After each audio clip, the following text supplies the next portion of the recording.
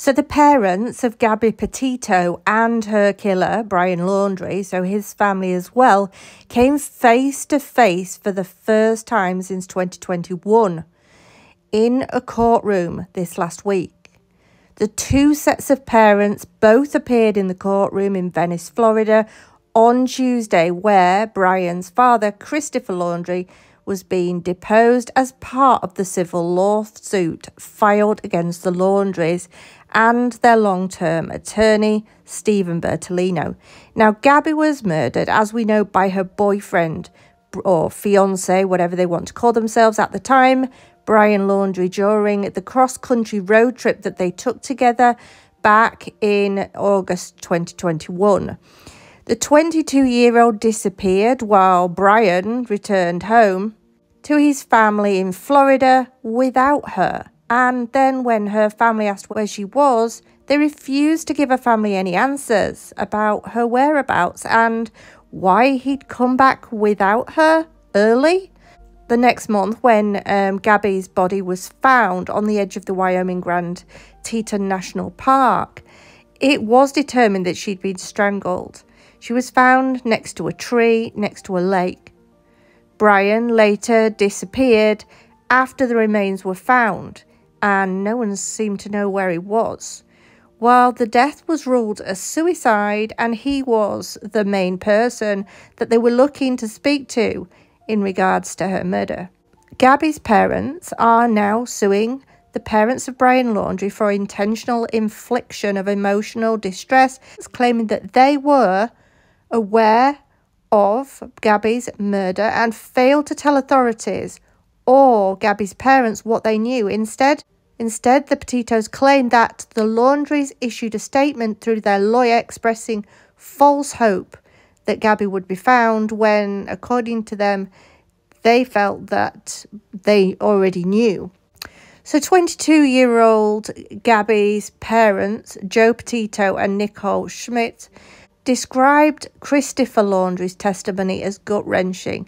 They said it was extremely hurtful to listen to someone that has no remorse or compassion for somebody else's life, for the for the girl that they were going to call their daughter in law.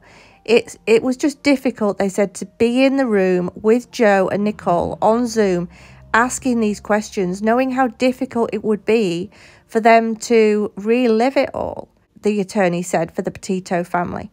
Brian Laundrie's mother, Roberta Laundrie, attended the deposition and is set to be questioned this week, less than five months after it was revealed she offered her son a shovel and garbage bags if he needed to dispose of a body. In a letter titled Burn After Reading, he obviously didn't. So, this letter reads in part We will always love each other. If you're in jail, I will bake a cake with a file in it. If you need to dispose of a body, I will show up with a shovel and garbage bags. Like, what sort of mother says this to her son? In May, a judge ruled the letter could be used as evidence in the lawsuit, whether the letter was written before or after Brian strangled Gabby. It's disputed by the parents. But Roberta Laundrie claims in a sworn statement in the Florida case that she gave it to her son before he and Gabby left on the cross country road trip in early June 2021. Why she would need to write that to him at that point, we have no idea because it's certainly not the sort of thing I write to my daughter before she goes on a trip. And it's just a bit of a coincidence that Gabby goes missing and is found murdered, and then this letter appears. Roberta Laundrie, Brian's mother, they were having apparent difficulties in their relationship at the time. Three months before Brian killed Gabby, a court uh, file statement said. I was trying to connect with Brian and repair our relationship as he was planning to leave home. He was leaving for a short period of time. He was coming home. Honestly. Um, it said, I hoped this letter would remind him how much I loved him. Well, it certainly reminded him how much of a crazy woman you were, my opinion, allegedly. So the Petito family expressed doubt about Roberta Laundrie's claimed timing of this letter, as I have just said also. And the couple were travelling by van across uh, the US in the summer of 2021. They were taking loads of photos for her Instagram. They were visiting Colorado and Utah before heading north. And they documented their trip it quite in detail with Gabby writing journals and talking about her trip online. But their travels were obviously not as happy as they appeared to be in the photos that were posted online. The police in Moab, Utah, pulled over the van not long before Gabby was murdered, after they'd seen it speeding and hitting a curb to the entrance of the Arches National Park.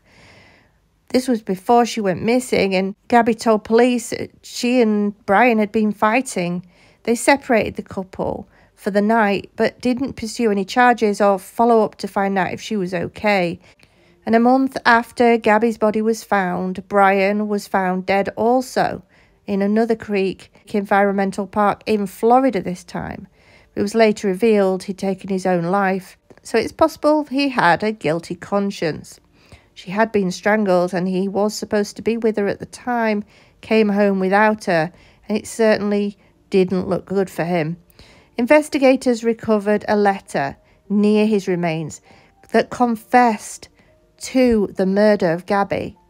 And last year, Gabby's parents were awarded 3 million in a wrongful death lawsuit against Brian Laundrie's family's estate. When Brian's parents turned up to court last week, they turned up in Brian's Mustang car. The car that he drove Gabby around in, the car that they were so used to seeing turn up at their house to pick Gabby up and it just looked like a stab in the heart for the family. It was like they were trying to rub their nose in it after getting the 3 million lawsuit against them. Be interested to know what you think about that, guys. Why do you think they turned up to court in that Mustang? I can't see any other reason why they would, but that's just my personal opinion. What do you think will happen with the court case?